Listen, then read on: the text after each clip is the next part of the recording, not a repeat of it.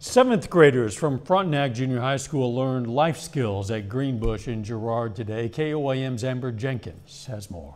Have any questions? The annual Life Skills Day for Frontenac 7th graders means a field trip to Greenbush to learn basic cooking skills. And I was a little stressed out at first, but so far it seems like it's going pretty well and the kids are enjoying themselves. And we're just teaching them some basic cooking things that they should be able to do on their own. Usually the Greenbush staff travels to the middle school to teach, but this year, 65 7th graders went to them. I was like, yeah, I, I was really excited because when they when they first announced the Greenbush trip and I was like, okay, what kind are we doing? And they're like, we're gonna go cooking and I'm just like, are you serious? I love cooking. Gabe's group started the day making roasted chickpeas and granola from scratch. It feels like oats. Like I don't. It's not wet or anything. Well, well, uh, yeah. my mom bakes and then my dad cooks, and I really, I really like cooking. I really like cooking and baking.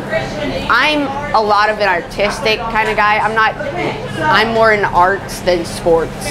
So it's not. The seventh graders aren't just understanding basic cooking, but learning new ingredients as well. I didn't know, like, I thought chickpeas were like a nut, not like a seed. I thought they were like kind of like a peanut, like, but I didn't know they were like a like a seed. Reporting in Girard, Amber Jenkins, KOAM News. Definitely a useful life skill and looks like fun to boot. Sixth and eighth graders also got off campus. They spent the day touring some departments at PSU.